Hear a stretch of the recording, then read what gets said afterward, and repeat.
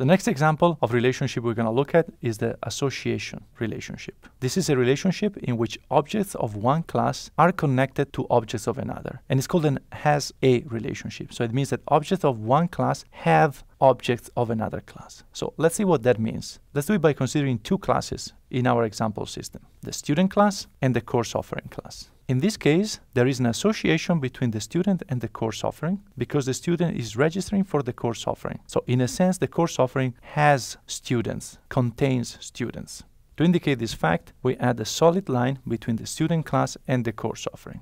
And the fact of having a solid line doesn't really tell us much about the nature of the relationship. So to clarify such nature, we can use what we call adornments that we can apply to associations, we can add to associations to clarify their meaning. In particular, we can add a label to an association, and the label describes the nature of the relationship. In this case, for example, it clarifies that the student registers for course offering. We can also add a triangle to further clarify the direction of the relationship. So in this case, uh, the triangle will indicate that it's the student that registers for the course offering and not the other way around.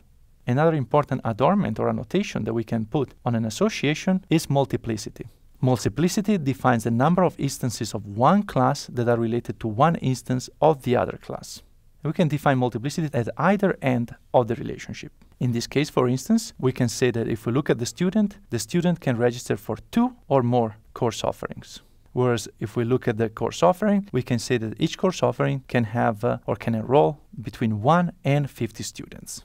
So as you can see, by adding a label, a direction, and multiplicity, we make it much clearer what the relationship is and what it means and what are its characteristics. As we saw when we introduced relationships, there is a different kind of association, kind of a specialized one, which we call aggregation. So here we're going to look at an example of an aggregation. So first of all, what is an aggregation? An aggregation is a relationship between two classes in which one represents a larger class, like a whole, which consists of smaller classes, which are the parts of this whole.